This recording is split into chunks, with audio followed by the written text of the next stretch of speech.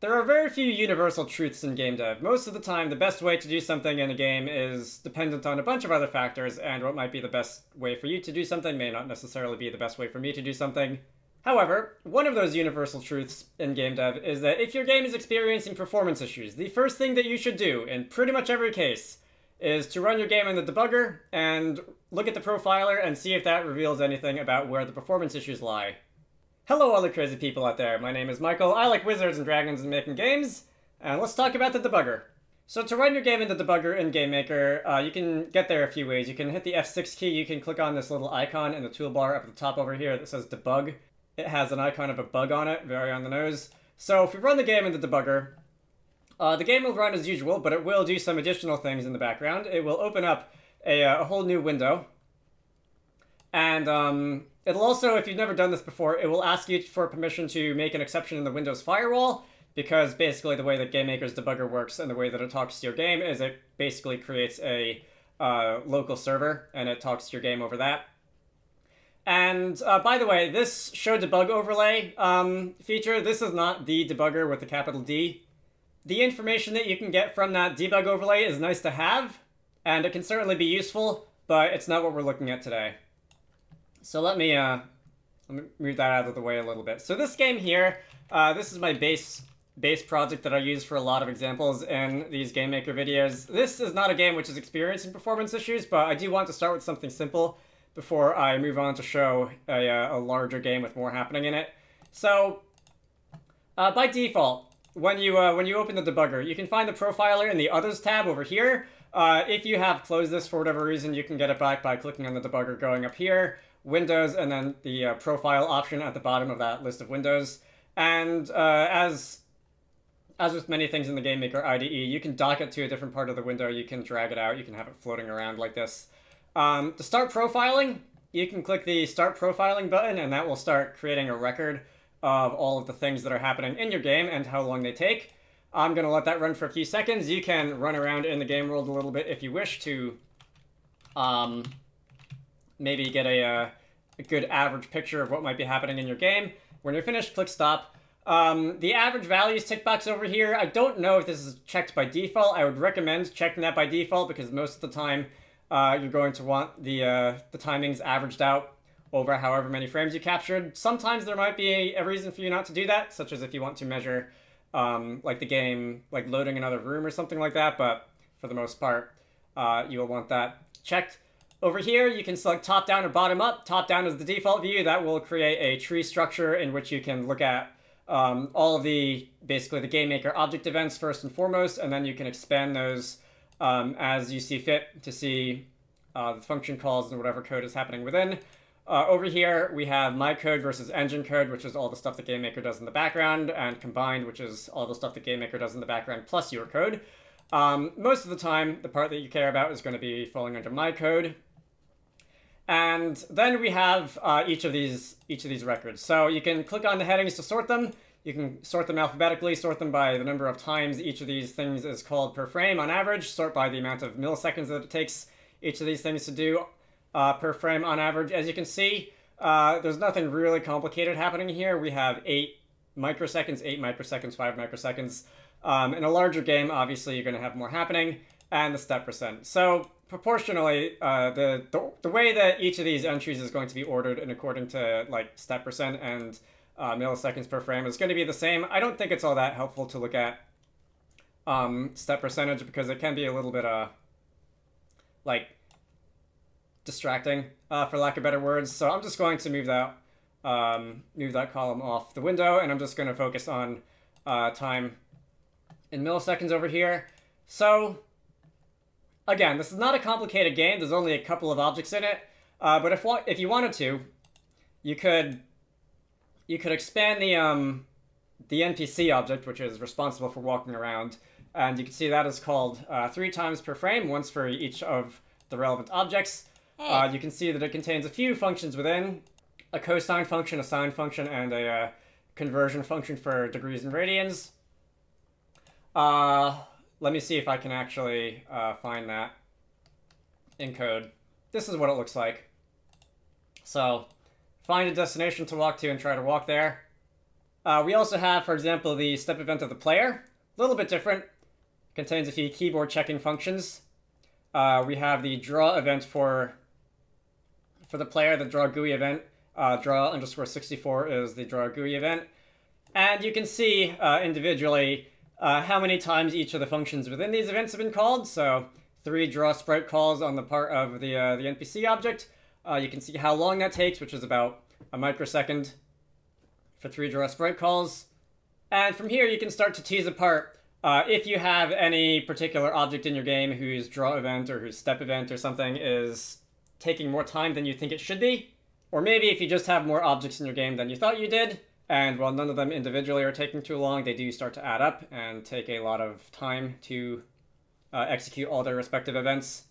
You can also flip this on its head, and you can go to the bottom-up view, and this will, instead of showing the, uh, the recursive tree, which is the uh, starting with each game maker object's event, and then expanding from there to see the uh, individual function calls within, uh, you can hit the bottom-up view, and that is going to show you a list of all the function calls in the game, regardless of where they happen, and it will tally them up. This will show you the amount of time that any individual function will take in your game per step, regardless of where it happens, regardless of which object event it comes from. This isn't something I have to show off in this example here, but let's say you have a bunch of different enemy types in your game, and let's say that they're all doing some MP grid navigation every step, and while any given MP grid navigation might not take too much time, maybe just a few tens of microseconds, if you have a hundred of those doing that every step, then that could add up and become somewhat expensive over the course of an entire frame. And while you might not necessarily be able to detect something like that if you just looked at the top-down view, uh, looking at the bottom-up view for something like that could be rather helpful because it will show all the MP grid navigation function calls all together. Okay? And honestly, you can get a lot out of using the debugger's profiler, and you can learn a lot about how to use it just by messing around and by looking at each of the timings of each of the function calls and seeing if anything stands out to you. But uh, I do want to, in addition to um, just saying that the debugger is there and you should use it, I do want to uh, show a somewhat more complicated example. So this is a, oops, that's not the debug mode. Uh, this is Wizarducks. This is the, the game that I have been known to work on. And we're going to let that load, and I'm going to, uh, to come out into the game world and walk around a little bit. So, uh, if I were to open up the profiler, and if I were to run the profiler, um, we would see that we have a bit more going on here. Uh, once again, let me move the step percentage out of the way. Let me just focus on um, call count and the, uh, the, millisecond timings. Let me sort by uh, milliseconds so that we can see what's the most expensive. So right now we can see that this game is running at about, say, 55 FPS, which is about 17 microseconds per, uh, per step, 17 microseconds per frame, give or take. Uh, we can see a few things looking at the top-down view. Uh, the majority of that, about almost 12 like, uh, milliseconds, is being taken up by OBJ, OBJ Demo's draw event. That's basically the camera object drawing uh, everything in the game world. Uh, we've also got a fair amount of time being taken up in the uh, step event of that same object. we've got a fair amount of time being taken up by OBJ underscore renderables step event. And this is, uh, for most objects, this is, this is nothing. But uh, a couple objects are using a step event to, uh, you know, do things that you'd expect objects with a step event to do. Anyway, uh, I think enough of that. Stop profiling. Uh, profiling itself, by the way, does take up a little bit of frame time. You might have noticed that the FPS underscore real jumped up from about 50-something to 70-something when I stopped. Anyway, so an annoying thing the Game Maker does is if you have a, um, like a method that belongs to an object or a method that belongs to a struct in instance somewhere, and you try to look at it in the debugger, it's going to have a name that looks a lot like this, right? Anon, anon, big hex identifier, GML, global script group particles 8571. Um, that unfortunately doesn't make tracking down uh, a lot of the things in um, in the debugger's profile are very easy. I do wish GameMaker would find a way to give some of these, uh, like, to make them more identifiable in the debugger. In the meantime, you, uh, you have to do a bit of detective work, unfortunately, to try to narrow down uh, where these anonymous functions are coming from. So in my case, there's some uh, there's some method in the uh, shader lights script which is being called. Uh, there is some method in the, the uh, OBJ demo create event which is being called. And uh, lastly, up here, this big chunk of 9.5 milliseconds per frame, uh, which just says event perform. Uh, this is happening because I am uh, indirectly calling every object's uh, draw event and drawing everything in the game through a uh, basically central game controller rather than just letting them be visible. In my case, there are almost 2,300 draw calls being done on different uh, visible objects in the game. it's not hard to imagine how how that adds up with all these flowers and trees and stuff after a while. And a, a big chunk of that, almost 1,700 of those, are being occupied by the uh, OBJ grass draw event, and uh, that encompasses grass and also the flowers. All these flowers that you see here, right? While each individual uh, grass object may be uh, pretty quick to execute its draw event, there are 1,700 of them, and 1700 of these collectively take about 7 milliseconds to, uh, to draw all of them. And we can break that down further.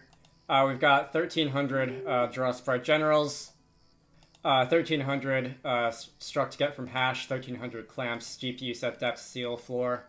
So this is going to be a little bit of a silly example, but let's say that we decide that maybe 1700 uh, grass objects being drawn and having their step events processed per frame is a little bit much, maybe a little bit more than we intended to. So you could, um, let's say, either delete some from your game, uh, if you have them all in like a giant game maker room or something like that, or uh, in my case, if I just go into the uh, settings and reduce the flower density a little bit. Um, if I were to reduce the flower density to say, oh, I don't know, 100%, we'll get there. Alright, there we go. And if I were to start profiling again, you would see that the, uh, the average frame rate has gone quite a bit up. The amount of time that it takes OBJ Demo's draw event to execute per frame has gone uh, down by quite a lot. Uh, the number of times that the, uh, the step event is being called, even when it's not doing anything, has gone down by quite a lot. And frame rate that we're looking at has about doubled, which is pretty nice. We can, uh, we can take a look again at the very same OBJ Demo draw event. Uh, only 850 objects performing a draw event this time including 550 things of grass, excuse me, uh, 240 things of grass, and so on down the line. Again, bit of a silly example, but as you can see here, you can use the profiler to figure out um, which uh, which part of your game's step event is the most expensive, and while it won't automatically tell you how to fix it, uh, it should help point you in the right direction, uh, showing you which lines of code are uh, taking up the most time giving you a hint to say, hey, maybe you shouldn't be drawing 1700 flowers per frame, much to my disappointment. That's pretty much it for the debugger's profiler. So I did say that whenever your game is experiencing performance issues, the first thing that you should always do is look at the profiler, uh, but I also said that it will not always point you in the right direction, and the, uh, the one situation in which the uh, debugger's profiler won't really help you is if there's something outside of this which is contributing to the game's slowdown. So uh, that could that usually takes the form of uh, really two things. One is going to be the um, if you have a lot of structs in your game or a lot of structs and arrays in your game, and the garbage collector is going a little haywire. Uh, that's not something that'll necessarily show up in your uh, your game's code in the profiler. I believe that will be uh, show up under no doesn't show up under handle step. That might actually be included under finish frame.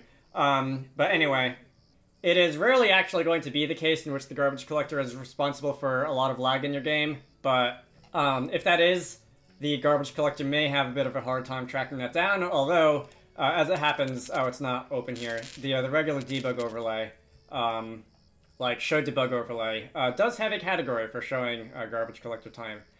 And the other occasion in which the debugger won't really be of much help is if the bottleneck is on the GPU. So if you have either a really complicated slash inefficient shader running, or if you're doing something in 3D and you're trying to push just far too many vertices per frame, then the, uh, the debugger won't necessarily be of much help to you because none of the uh, none of the listings in the profiler over here uh, are actually going to tell you what is happening on the GPU. And to be fair, a lot of the times you can make an educated guess Like, if you're trying to draw a vertex buffer that has like 50 million triangles in it, there's a pretty good chance that that is going to be responsible for a majority of the processing time per frame. But the uh, the debugger, unfortunately, won't really do much to help you out there. Hey. I do have an entire series of videos on optimizing 3D in GameMaker, which, if you're experiencing issues like that, may be of some help. Also, because I haven't looked at this in a while, I am just curious, if I were to look at the uh, my code from bottom up, um, not going to do anything about it right now, but apparently I'm calling GPU set text filter extended 1400 times. Interesting. That feels like an, an issue I should deal with because I don't can't think of any reason why I would be doing that. Yeah, okay. Most of this is pretty, like, to be expected. Alright, enough of that. So, I do want to make videos on the other things that you can do with the debugger at some point, the debugger is a pretty powerful tool when it comes to figuring out what's going wrong with your game, and there's a lot of ways that you can utilize it to deal with issues that might come up. That's a story for another day. Today I just wanted to talk about the profiler. I am about to make a video on optimizing a 3D collision system in GameMaker, and I am going to be leaning on the debugger's profiler quite a lot for that, and I figure that while that's on my mind, I might as well make a video on it. So I think that's it for me. My name is Michael, I like wizards and dragons and making games. I try to post about two game dev videos a week. I like to focus on the weird, complicated things you can do in GameMaker.